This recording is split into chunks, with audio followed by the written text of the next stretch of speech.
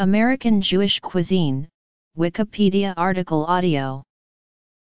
American Jewish cuisine comprises the food, cooking, and dining customs associated with American Jews. It was heavily influenced by the cuisine of Jewish immigrants who came to the United States from Eastern Europe around the turn of the 20th century. It was further developed in unique ways by the immigrants and their descendants, especially in New York City and other large metropolitan areas of the northeastern U.S.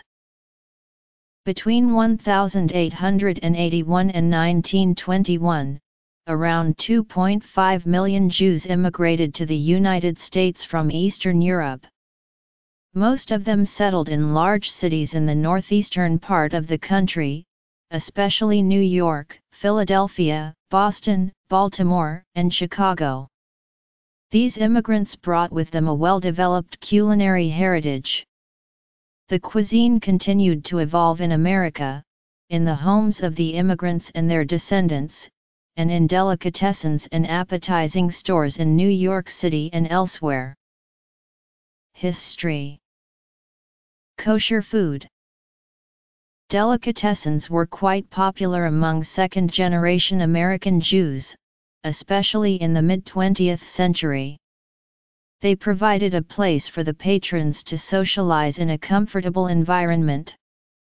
They also popularized some of the dishes now associated with American Jewish cuisine, which were affordable for their upwardly mobile customers, but which would have seemed luxurious to their European ancestors.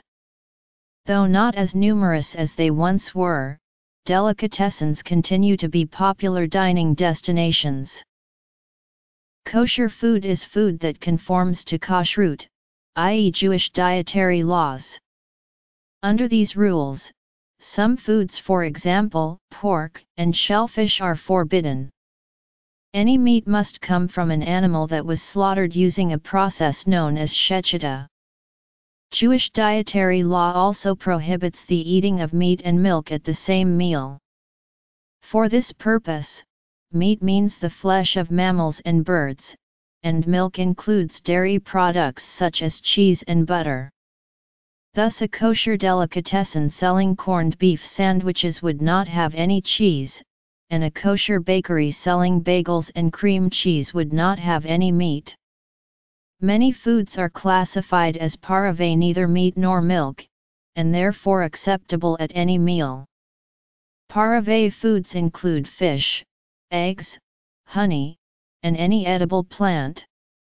Kosher commercial establishments must be closed from Friday evening to Saturday evening, during the Jewish Sabbath. American Jewish cuisine may or may not be kosher. For example, some delicatessens follow Jewish dietary law in the preparation and serving of food, while others do not. Followers of Orthodox Judaism, the most traditional form of Judaism, generally eat only kosher food. Some other more observant Jews also eat kosher food most or all of the time. However the majority of American Jews are less observant of traditional rules, and eat non-kosher food. According to a 2012 study by the Pew Research Center, 22% of American Jews keep kosher in their homes. Kosher-style food is food that is made in the style of kosher food but that does not necessarily conform to Jewish dietary laws. For example, a kosher-style hot dog is an all-beef hot dog that is mildly spiced with garlic and other flavorings, and a kosher-style pickle is a sour pickle aged in brine with garlic and dill. The term kosher style may also refer to American Jewish cuisine in general. During the annual eight-day Passover holiday, Jews who are more traditionally observant do not eat leavened bread. During Passover some American Jews eat matzah and other foods that conform to this restriction.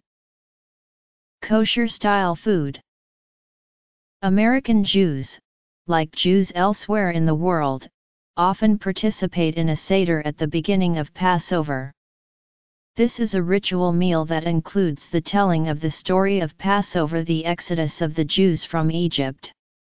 At a Seder, the Seder plate is a plate with special food items that are symbolic of different aspects of Passover.